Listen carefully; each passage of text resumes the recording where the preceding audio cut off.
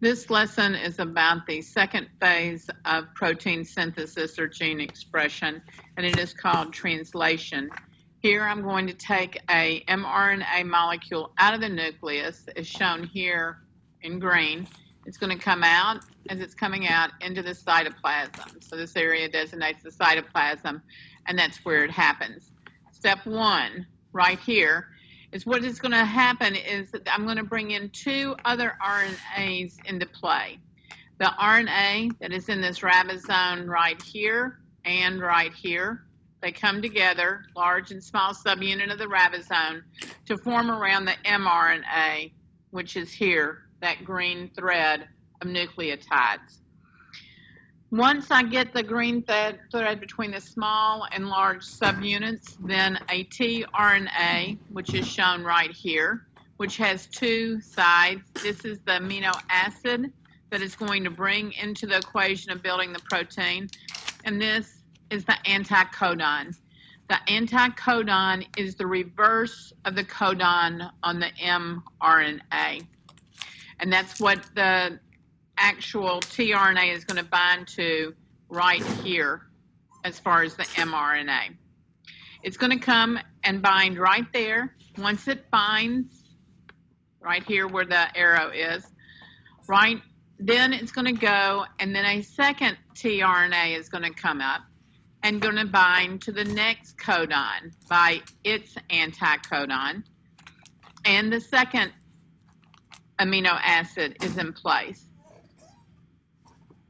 Then what's going to happen is the two amino acids are close to each other and a bond forms right here.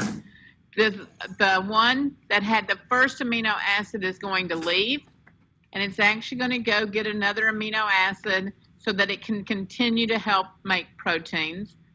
And then a third tRNA is going to come up, placing the third amino acid in the sequence with its anticodon again matching the codon of the mRNA. And that continues until I have a huge polypeptide chain, which becomes the protein.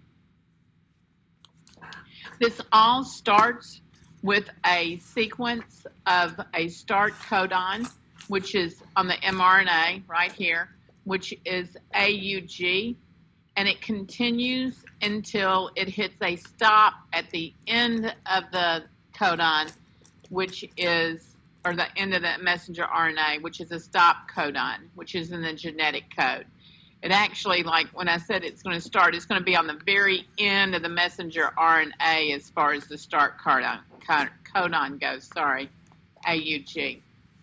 So um, it goes, I think that pretty much explains it. It runs about 15 amino acids per second, which is very fast.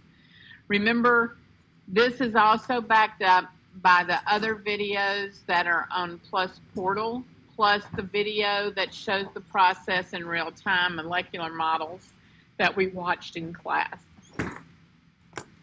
I hope this clears up some of the confusion, and if not, come to me and I'll set you straight. Thank you.